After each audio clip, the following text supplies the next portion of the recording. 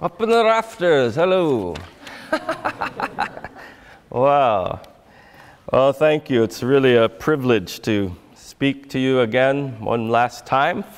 Then we entered into the full week with Dan Davis in the mornings, and that'll be grand, I'm sure. I look forward to that.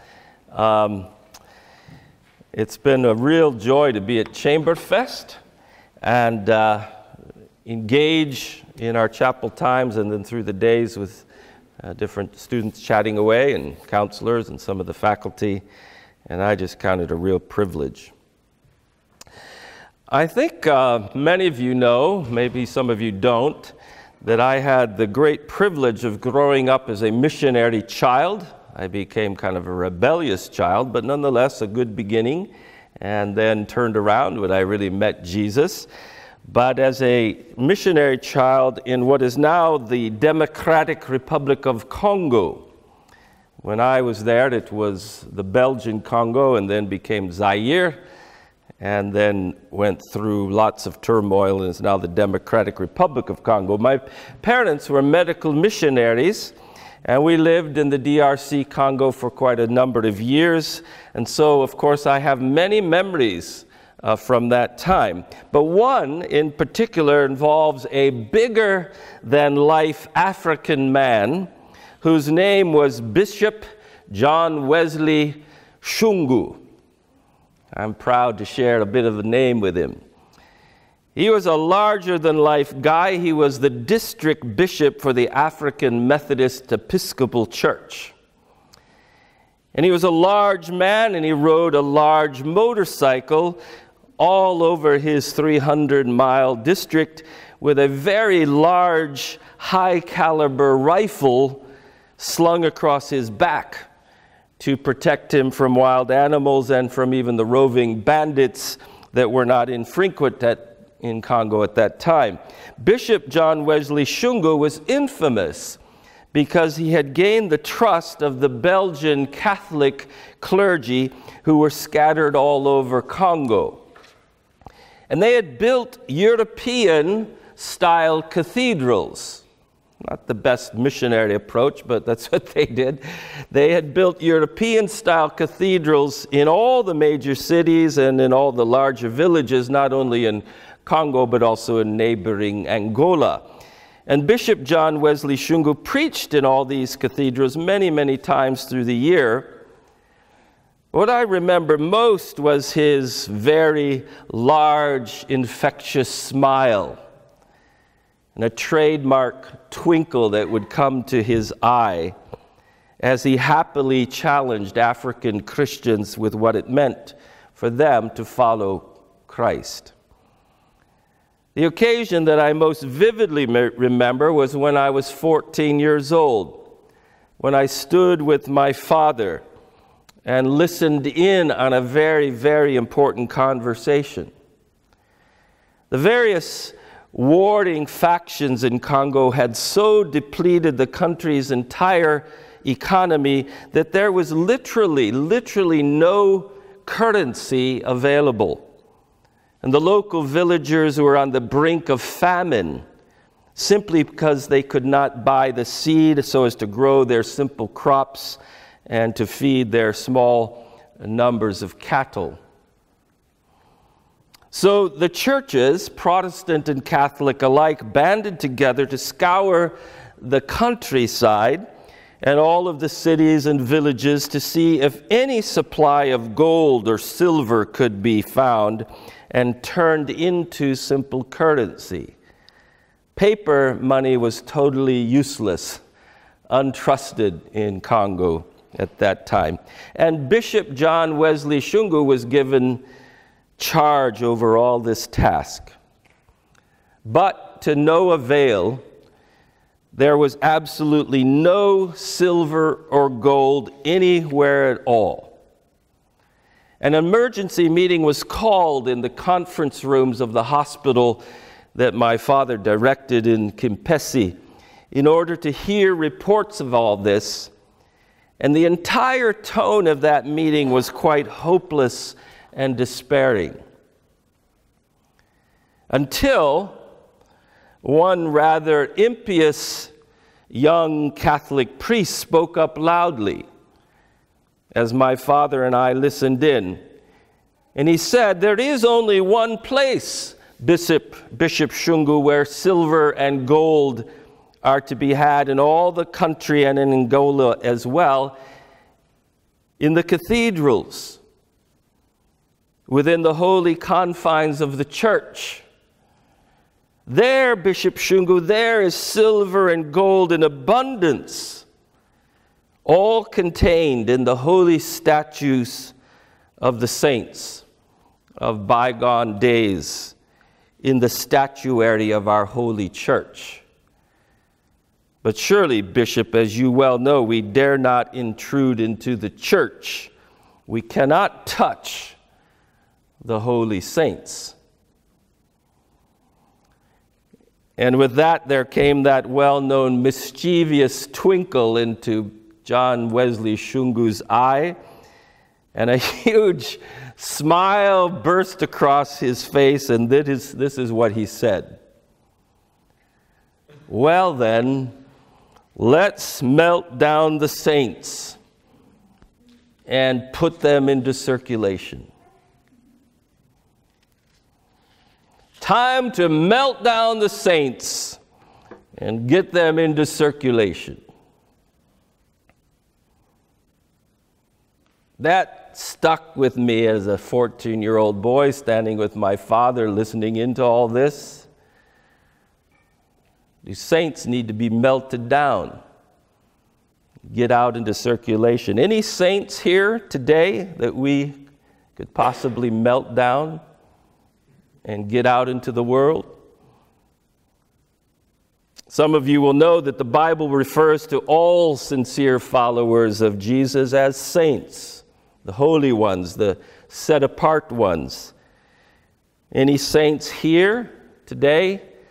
Young musical saints who perhaps need to be broken, melted,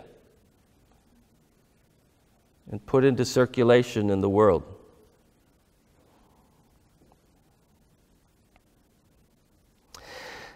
Psalm 67.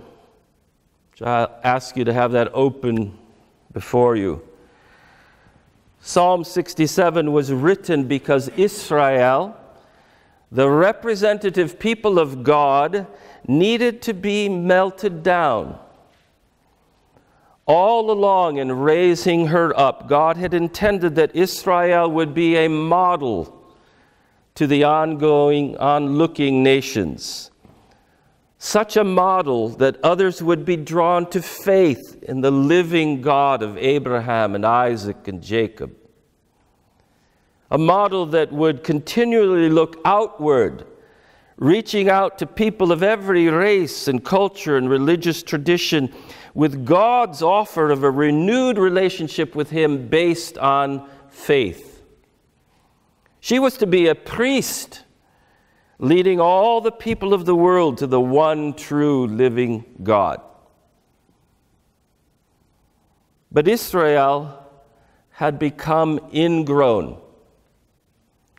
She had become solipsistic, which is to say, overly self absorbed.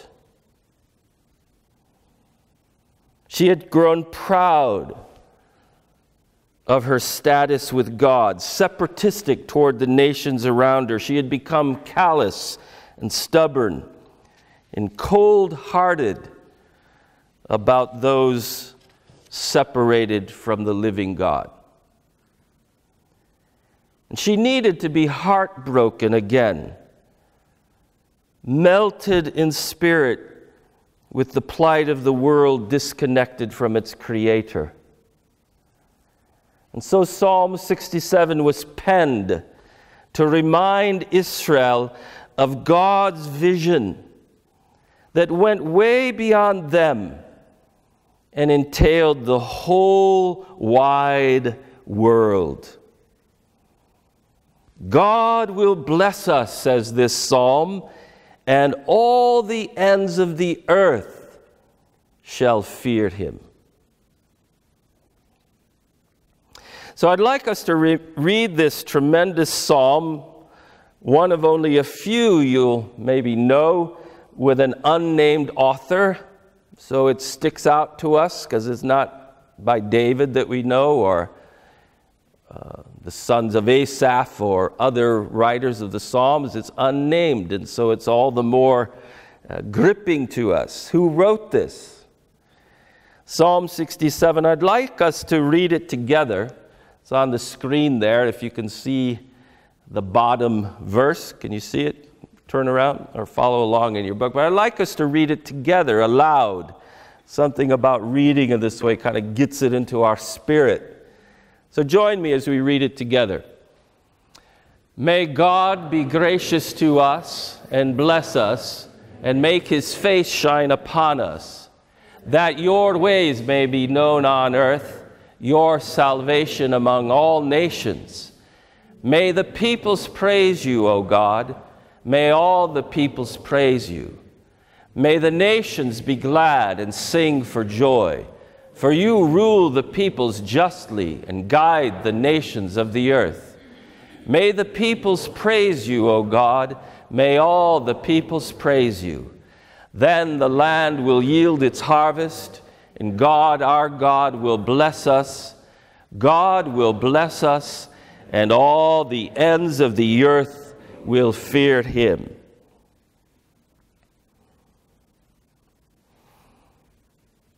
Psalm 67 is meant to break down our cold indifference and melt us and get us into the world again. And it does this first by reminding us of God's reason for blessing us. Read it with me once again in verse 1. May God be gracious to us and bless us and make his face shine upon us. And then later, in verses 6 and 7, it is stated again, but this time as an expectation to come. You don't have to read aloud, just listen. God, our God, will bless us. God will bless us, and all the ends of the earth will fear him. The Hebrew original of this word blessing, barak, undoubtedly has aspects that suggest material well being. God blesses us by making provision for us. As verse 6 suggests, and we can hardly escape it, the land will yield its harvest. But the Bible more broadly actually urges us to question what level constitutes material well being. At what level do you need to be to say, well, now I am materially blessed? And all through the Bible, we're asked to question that. Did you know that a 2015 United Nations subcommittee report concluded that if you have more than one meal a day, and you have a dwelling that keeps the climate, the weather out, and you have some sort of reliable transport, for most of the world, that's a simple bicycle then you are in the top 16% of the world's wealthy. If you have one meal a day, some sort of dwelling that keeps the rain and elements off of you, and some way to get around, 84% of the world today lives with less than that. What constitutes material well being? The Hebrew term blessing, barak, even more so infers not just material well being, but more so relational well being. In the Hebrew cultural context, God by extending his blessing to us, is committing himself into a familial relationship with us, a family situation, like a good Hebrew father would give his blessing to his children. God is saying, I am pleased, I am happy to be called your father. So that whether or not we consider ourselves at some level of material blessedness, we are out without question rich, wealthy in our relationship with God when we participate in His family life. To be blessed And this is why this blessing of God must be understood in more of a communal sense rather than our Western hermeneutic, interpretive way of always going toward individual wealth production. Wonderful Old Testament scholar Walter Brueggemann, for example, refers to this as the collective us. When he says Israel as the collective us, is meant to be a case study so that the nations may know Yahweh and join the multitude of praise makers. I love that.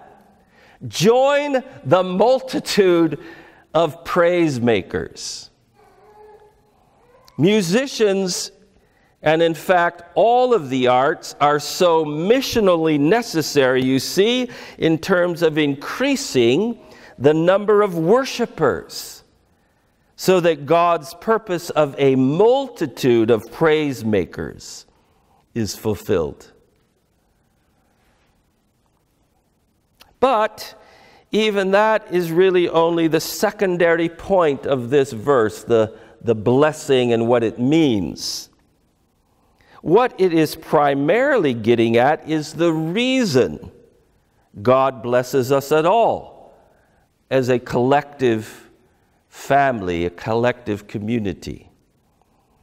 As the rest of verse 1 clarifies, God be gracious to us and bless us and make his face shine upon us. We can understand this if we take time to study a wee bit and back up and consider that the blessing that is intoned here in Psalm 67 is almost, catch that, almost an exact duplication of what is called the Aaronic blessing. Not ironic, Aaronic, to do with Aaron. When Aaron and his clan were made the first priests of Israel given by God Himself through His prophet Moses way back at Israel's inception in Numbers chapter 6, the 24th verse. You don't have to turn to it, just listen. It is almost, almost an exact duplication, but with a slight, but as you'll see, a very significant change, a variation. There in Numbers 6:24 we read these words, then the Lord spoke to Moses, saying, Speak to Aaron and his sons, saying, Thus you shall bless the sons of Israel. You shall say to them, The Lord bless you and keep you. Remember this when we sing that every day. The Lord bless you and keep you. The Lord make his face shine upon you and be gracious to you. The Lord lift up his countenance upon you and give you shalom, peace. Now, if we compare this with what we read here in Psalm 67, they sound very similar indeed in our English versions. But the Hebrew text renders a difference in them that I believe is far reaching in its importance and its implication.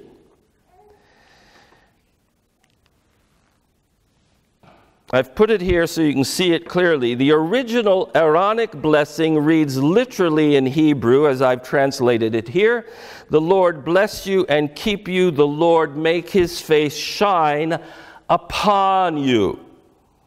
That word upon is the Hebrew eleka, which literally means upon. Eleka, it's an Hebraic liturgical form that is invoking, in this case, anointing. God smile upon you in the sense of anointing.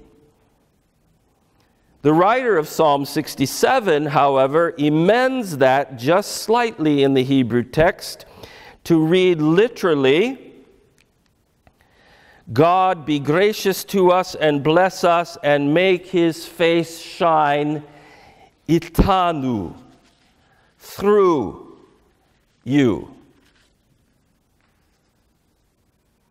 Here it's the Hebrew itanu, which is literally through. It's an Hebraic liturgical form in Psalm 67 that is not invoking anointing, it's invoking incarnation.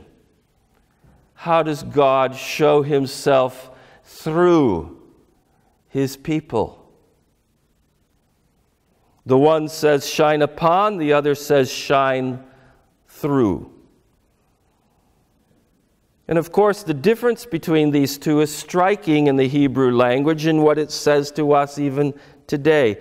For the one suggests, doesn't it, the simple enjoyment of God's blessing, while the other is more precisely getting at what is the intent of God's blessing Beyond the simple joy of being on the receiving end of His blessing, what is God's intent in blessing us at all? In other words, the writer of this psalm is subtly suggesting that the blessing of God comes to us not solely for our own benefit, not solely for our own personal enjoyment, but with the intent that by blessing us, God may shine through us to others. That God's gracious character might be reflected in us, is what the Hebrew means.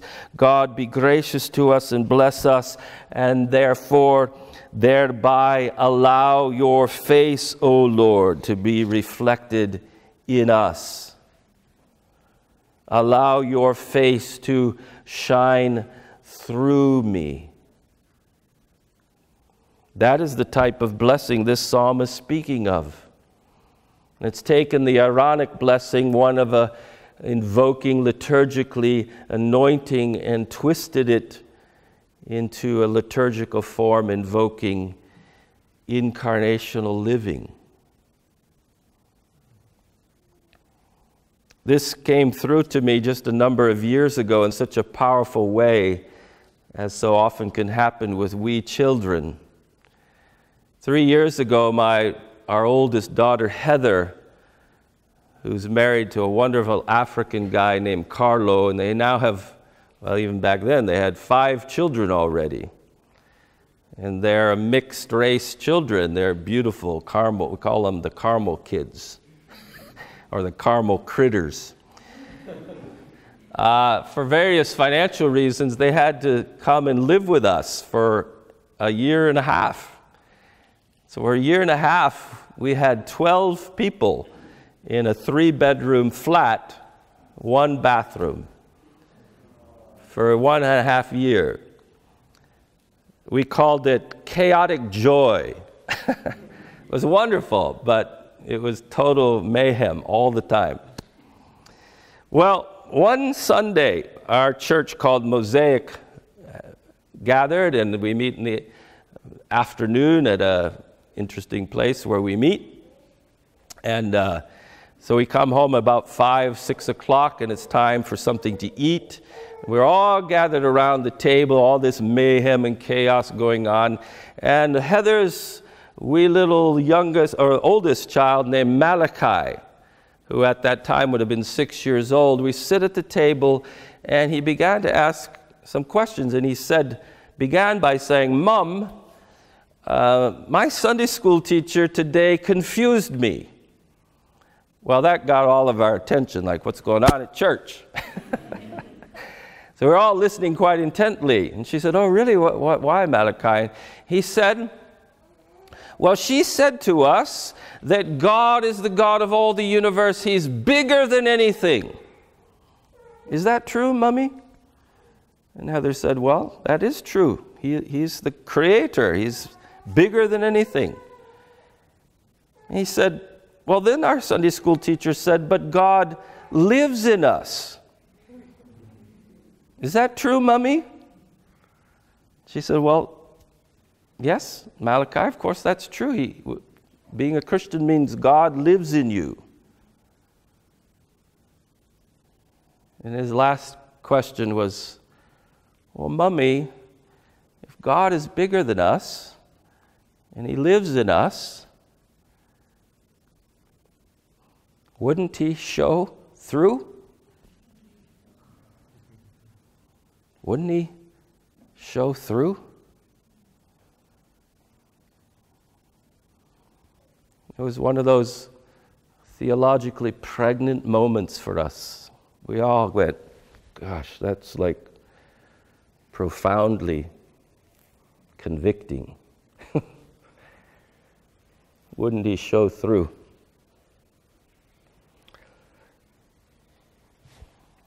This has something to say about God's intent in bringing blessing. It is not to appease our selfish cravings. It is not so that we might wallow in abundance. It has nothing to do with the private assurance of health and wealth and happiness. God blesses us so that our lives reflect His presence that he shows through and thereby draws the world to himself. So I want you to think about this with me right now where you're sitting, just in quietness. In what ways has God blessed you? In what ways has He given you rich relationships? friendships, teachers, friends, this Csehy family.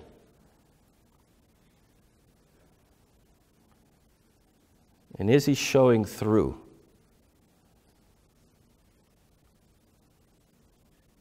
To draw others to himself. Just a moment to think about that in quietness.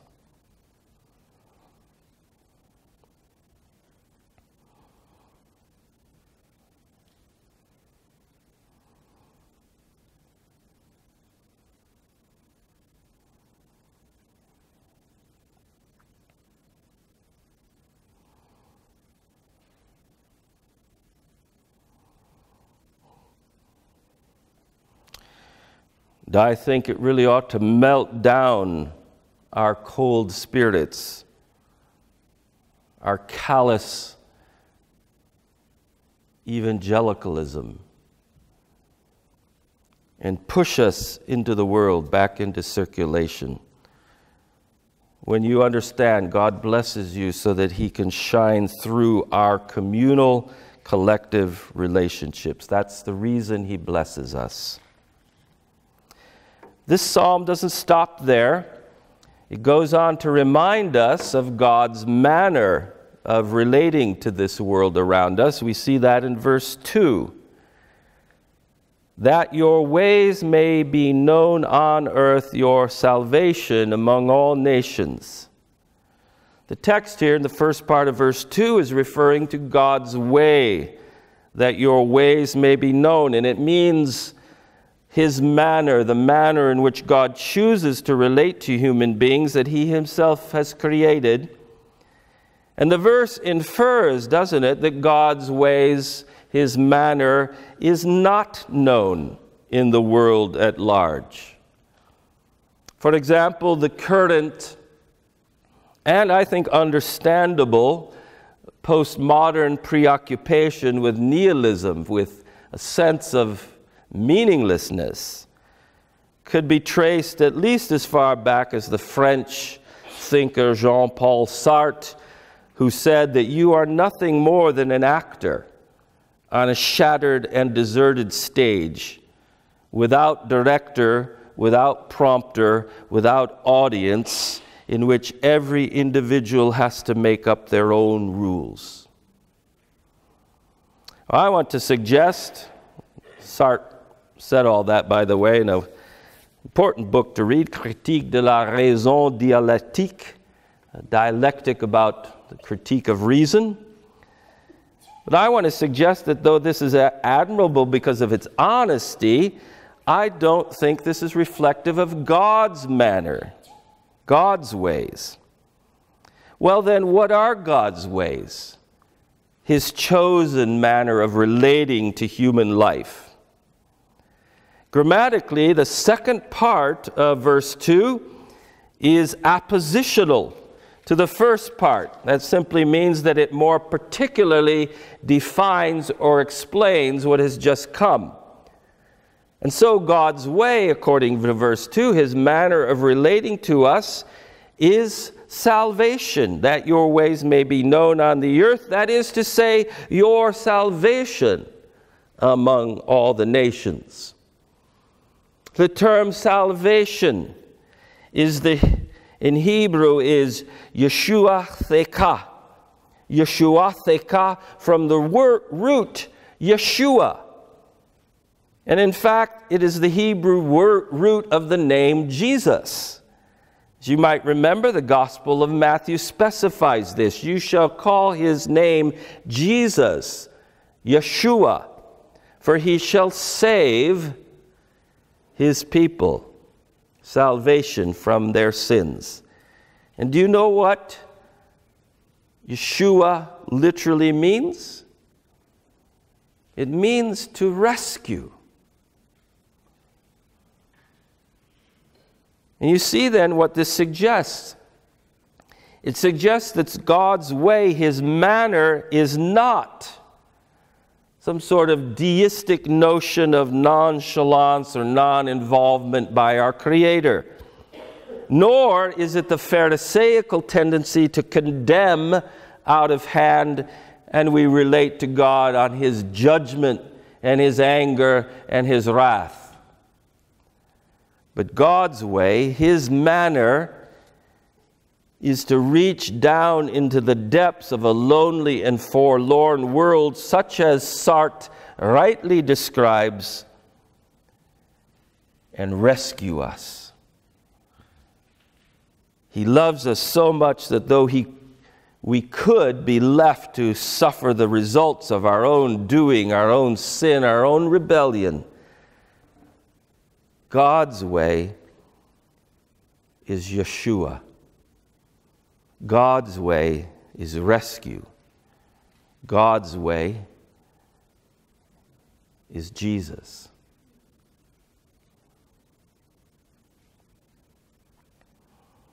But to be honest, even then, the real stress of this verse is not that. The real stress of this verse is that God's purposes in this salvation are not limited to Western culture, nor to capitalistic ideology, nor even to Israeli land rights. But his vision is universal, international in scope.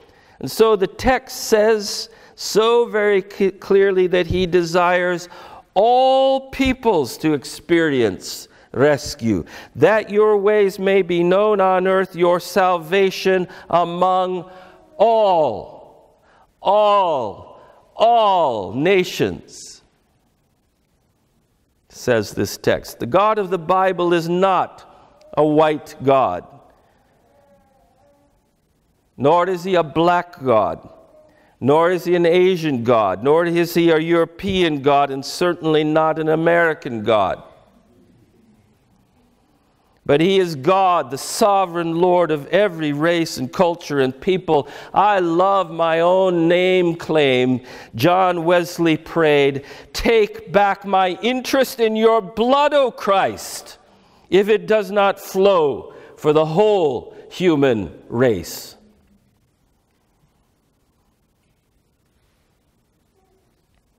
So I want us to take another moment to stop and pause and reflect and let this sink in and ask yourselves a few questions.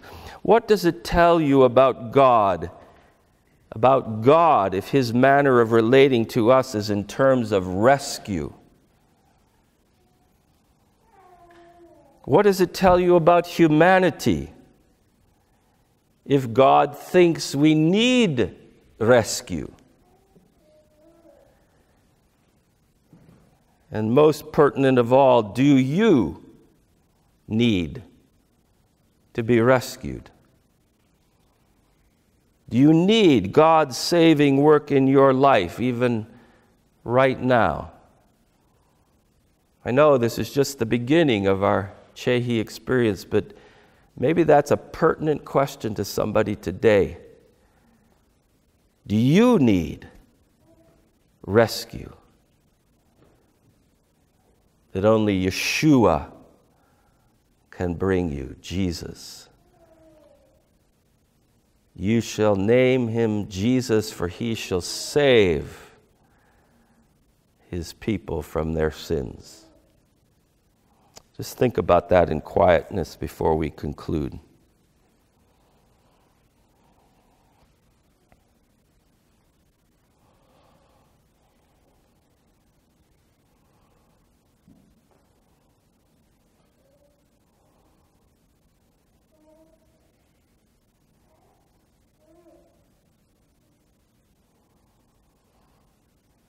What does it tell you about God if His manner is rescue? What does it tell you about humanity if we need to be rescued? Do you need God's saving work right now?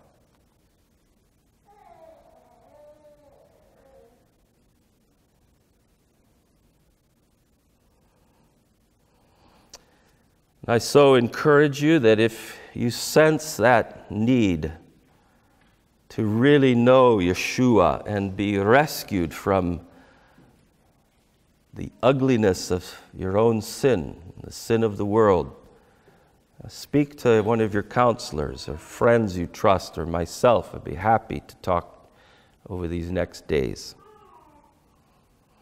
I think it ought to melt away our spiritual frigidity push us out into circulation if we really believe that God's way is to rescue people and that many people in many places throughout creation do not know or misunderstand God's manner. If our cold hearted indifference has not yet been affected, then this psalm reminds us as we come to its conclusion of the grandest picture, the grandest vision of all in verses 3, 4, 5. May the peoples praise you, O God. May all the peoples praise you. May the nations be glad and sing for joy, for you rule the peoples justly and guide the nations of the earth. May the peoples praise you, O God. May all the peoples praise you. It is a vision of all peoples rendering to God the praise only He deserves. And I want to suggest, by way of finishing up this morning, what I would call a radical anthropology that is biblically assumed in a vocative exclamation like this May the peoples praise you, O God.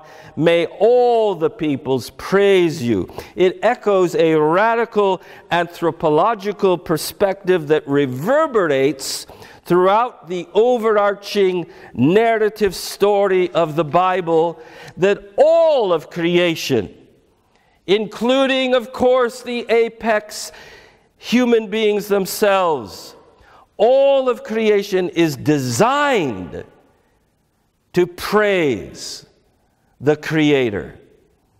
That basic to our creaturely instincts, built into the framework of the very created order around us, is the submerged, though still resident, urge to praise God. That is what Jesus was after, I think, when he stated so unequivocally that if we did not shout the praises of God, the very rocks would cry out. It is a radical anthropology which understands human beings not as simply existing unto themselves, but in the vast scope of the broader scheme of things that all creation is designed to render praise to the Father. That we are no more ourselves, we are no more fully human as God created us to be than when, like Brueggemann said, we join the multitude of praise makers. That every created thing, according to the Bible, the mountains and trees which clap their hands, the rocks and stones which cry aloud, the heavens and firmament which declare the glory of God and every person of humanity as well discover a freeing sense of congruity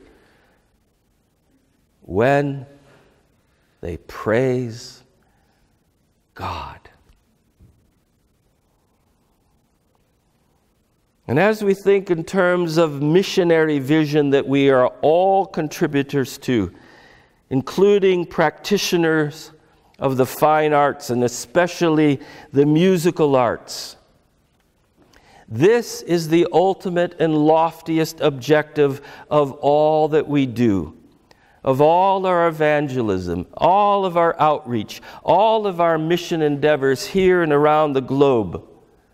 The services we render, the ministries we perform, the churches that we begin, the social change that follows in the wake, even the conversions of people that we witness, in point of fact, they are all secondary. For they actually point toward a greater goal, a nobler purpose, a grander vision that all peoples everywhere should render praise and join the multitude of praise makers. What we are working toward is worship. That's what it's all about. That, I believe, is why we should be committed to being what I call missional musicians, to do our small part in increasing the multitude of praise makers. Oh, I think it ought to break our hearts for the world and melt our icy spirits when you get a vision of this, when you understand God's future, when you can actually picture it with your mind's eye. One day, when a mighty choir, of which the Csehy voices will be an infinitesimal part, made up of peoples from every tribe, every nation, every tongue, every race, every ethnic grouping, shall render unceasing praise to God for one reason that His glory demands it, and the corollary that the design of creation itself requires it. That's what we see coming, and I want you to join me in speaking it out. Speak this out with me from Revelation 5 and note the grandeur of this vision. They sang a new song with these words You are worthy to take the scroll and break its seals and open it, for you were slain, and your blood has ransomed people for God from every tribe and language and people and nation and you have caused them to become a kingdom of priests for our God, and they will reign on the earth.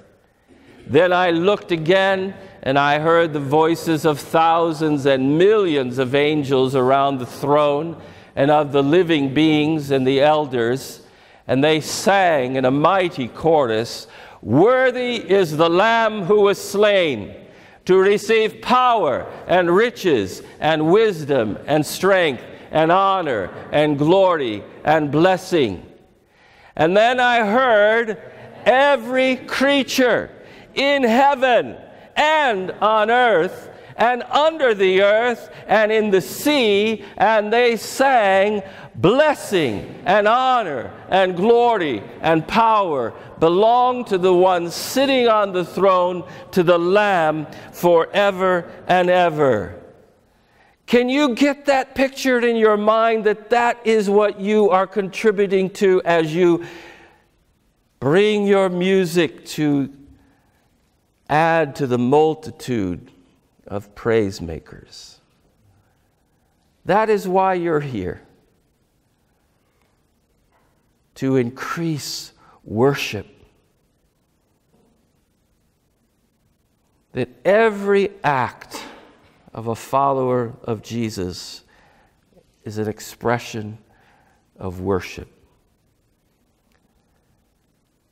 That music, as Luther said, is the handmaid of theology. Music. As we sing, if we have heard God in this Psalm 67 today, I am convinced it will melt down our homogeneous sectarianism and put us into circulation in the midst of the broad and varied and oh so interesting world that God created. When we finally get the broader vision of God's overarching, grandiose purpose, of all the earth worshiping mountains and trees, rocks and stones, heavens and firmament, animals and plants and people human beings of all types and shapes, children and elderly, yuppies and misfits, rebels and status quoers, intellectuals and high school dropouts, black people and white people, and red people and yellow people and green people, purple people if they exist. Scots and Iranians and Kurds and Iraqis and Chinese and Africans and Latins and Eskimos and even Americans.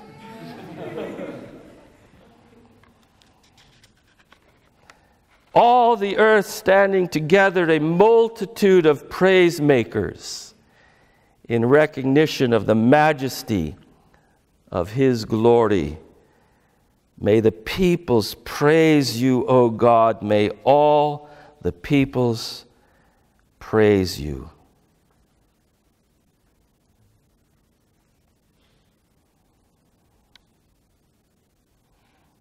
That is the vision of Psalm 67.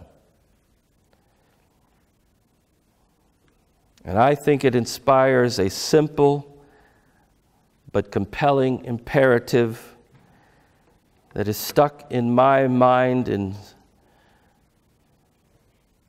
spirit, placed there by this man, an African large bishop,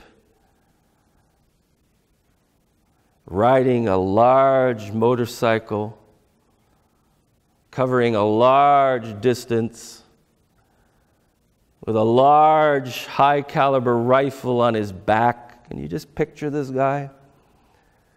With a collar, as a good Episcopalian, all over Africa. When I heard him say, Let us melt down the saints, and put them into circulation. You're going to have some great experiences in the weeks ahead. But, brothers and sisters, men and women, we need to be melted and broken because God wants you in circulation to increase the multitude of praise makers. Lord, thank you for Psalm 67. And I pray that you would melt my own heart, break through my own callousness, break through my stubbornness, shine through me Bless, not for our own sakes, but that through us Christ might shine. And allow us the privilege of bringing many more into the multitude that will praise you forever and ever and ever. We're here in this school to teach worship of the one true living God. In Christ's name we pray. Amen.